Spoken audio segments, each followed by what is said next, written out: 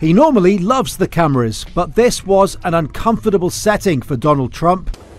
Well, first of all, I don't think I've ever been asked a question so in, in, such a horrible manner. Not a rally, not a debate. This was a grilling by black journalists in Chicago who'd invited him to their annual event. I love the black population of this country. I've done so much for the black population of this country. Racists are not welcome here! Infuriating protesters who felt he shouldn't be here, but giving the former and maybe future president a chance to address an audience whose votes he needs. Immediately, he was on the attack against his likely opponent, questioning hair race. I didn't know she was black until a number of years ago when she happened to turn black, and now she wants to be known as black. So I don't know, is she Indian or is she black?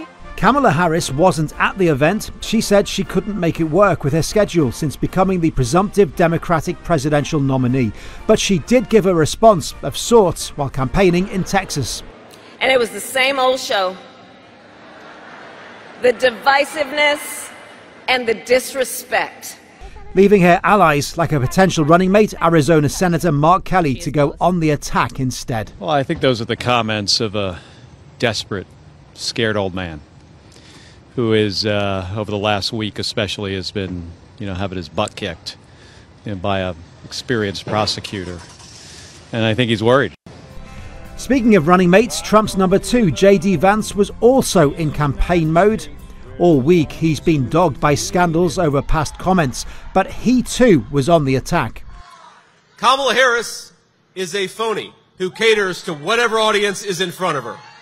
As his boss back in Chicago was asked if Vance was ready to run the country from day one if Trump can't. You're voting for the president, and you can have a vice president who's outstanding in every way, and I think JD is. I think that all of them would have been, but but you're not voting that way. You're voting for the president. You're voting for me. By day's end, Donald Trump was back in his comfort zone, speaking to adoring crowds and laying out his vision of a second term at a rally in Pennsylvania. The attacks are getting sharper by the day against the nominee who isn't even officially a nominee yet. Phil Lavelle, Al Jazeera, Washington. Make sure to subscribe to our channel to get the latest news from Al Jazeera.